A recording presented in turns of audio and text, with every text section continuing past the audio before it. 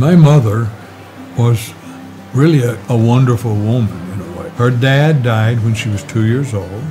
You know, she would sew little, uh, she made me a cowboy.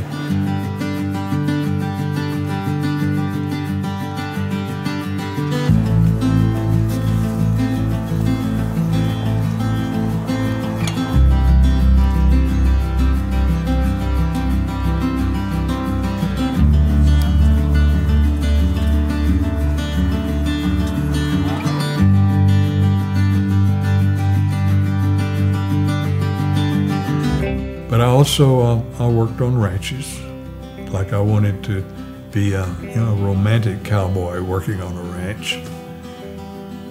So my feeling was I didn't want to be an artist. Wanted to be a cowboy.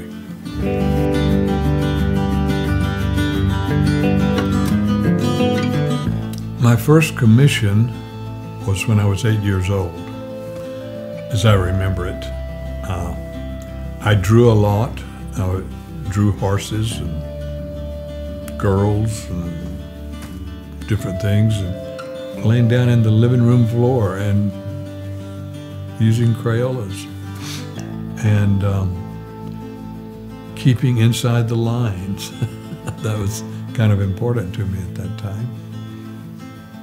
You know, it was just that's what I did later on, I didn't want to be an artist. I wanted to be a cowboy.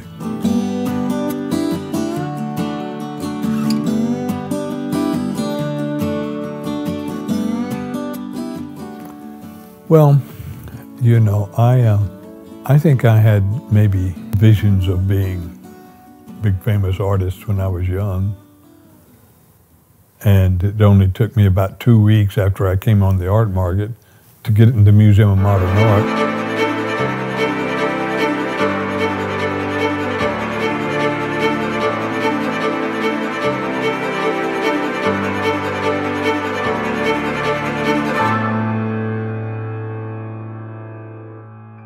I'd met Warhol. I mean, uh, I met Warhol when he just painted soup cans.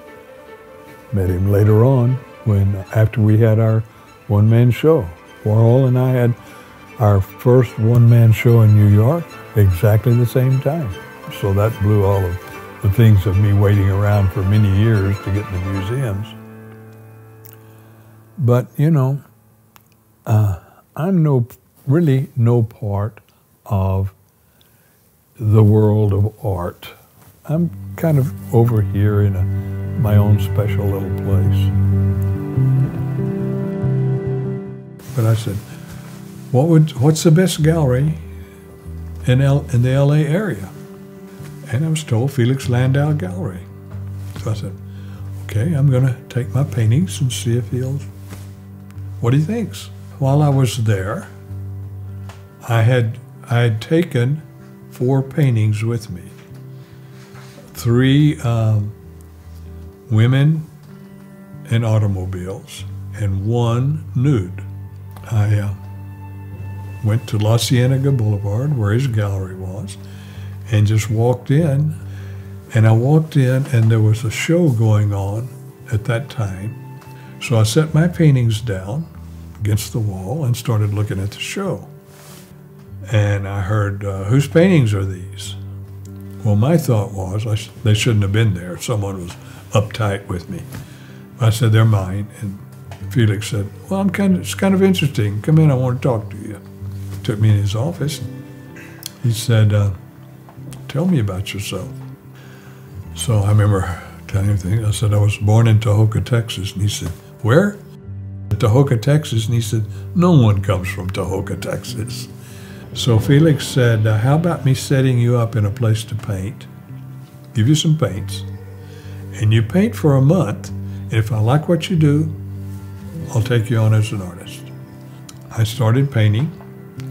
I was taken by these photographs of Marilyn Monroe in the Life magazine. I did this painting of, you know, three, three Marilyns, and behind each Marilyn was three uh, photographs of her, I painted, you know. So anyway, I finished that and uh, got a call from Felix, and he said, uh, "Well, come over and see what you got. I said, okay. Came over and uh, saw the Marilyn triptych, and he said, fantastic. And he literally just took the paintings and took them with him, and I guess made arrangements for a show in New York. And so he took the Marilyns, and he also took one of the women in cars. Museum of Modern Art bought the Marilyns, and they bought the woman in striped dress. So one of those original pop art paintings that I did in Texas went to the Museum of Modern Art before nearly anyone did. Warhol, uh, Lichtenstein, um, Rosenquist before him, you know. Felix got a call from uh, Life magazine. They said they wanted me to do a portrait of John Wayne. So um, the limousine picked me up from my studio in um, Hermosa Beach and uh, took me out to his ranch at Tarzana, which is close by LA. So got out, walked in the door, and inside the, it was a huge dining room. There was a table as big as this whole room here. You know. So down at one end, I walked in the door at this end, and down at the other end was Duke. I walked in, he said, Hey Gill, come on down, you know. So he said, You had breakfast here, you sat by me. And he, he had a bunch of people sitting around the table. And he said, Well, do you want what I have? I said, Sure. Well, he just he took a tumbler, you know, maybe 10 or 12 inch tumbler, and just filled it up with bourbon. But art, the whole art, everything changed right at right at that point. Uh, he has a phenomenal history and an important place in the history of modern art. Uh, he was one of the constituent part of the pop art movements in America from the 60s forward. He's made a significant contribution to that period, very important period in world art history.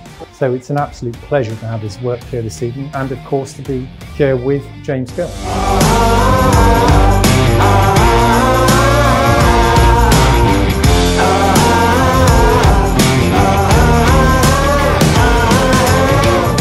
My pop art is really what the original term was, a popular subject. So that can be movie stars or uh, the political scene.